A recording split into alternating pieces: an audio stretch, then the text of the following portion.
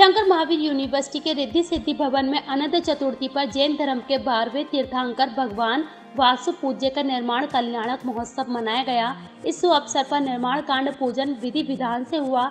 इस पुण्य तिथि पर वासु पूज्य भगवान को रिद्धि सिद्धि भवन में लाडू समर्पित किया गया।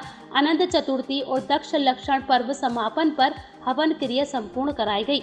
हवन पूजन में श्रावक धोती दुपट्टा जबकि श्राविकाएँ पीली साड़ी पहने सम्मिलित हुई। पूजा विधि में से मंगल कलश पर स्वास्थ्य निर्माण जैनाचार्य श्रीमद विजय धर्म धुरंधर श्रीश्वर जी महाराज के हाथों से कराया गया।